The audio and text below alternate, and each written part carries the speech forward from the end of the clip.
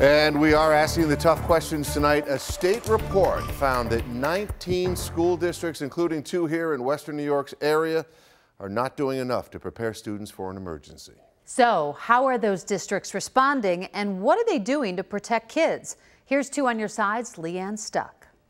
State Comptroller Thomas DiNapoli says schools are not doing enough to prepare for emergency situations like shootings. DiNapoli cited a recent safety audit of 19 school districts statewide that found none of the schools met the minimum planning or training requirement. The requirements come from the SAVE Act, which was created in 2000.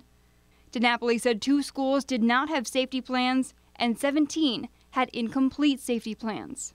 Niagara Falls and Lancaster school districts were both audited. What was your response to the audit? Well, the, the comptroller sent uh, two people here for about three months and they thoroughly investigated all parts of, uh, of our safety plan, our safety procedures, and our safety protocol. They went through every document uh, and practice that we had, and they, they had uh, found three, three findings. All of the findings were paperwork related. What were the three findings that the state found? Sure, you're supposed to name a chief emergency officer, which is me by board resolution, and we hadn't done that. That's correct. You're supposed to mention the word suicide in your plans and then have a plan for it. Well, we had a plan, but we didn't mention the word suicide.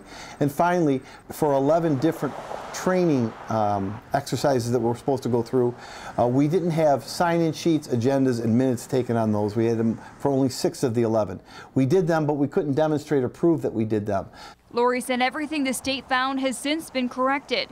He said he appreciates audits because they improve districts. But coming off a weekend of mass shootings, he said it paints the wrong picture of the district. We own the fact that we need to improve our paperwork. I don't deny that.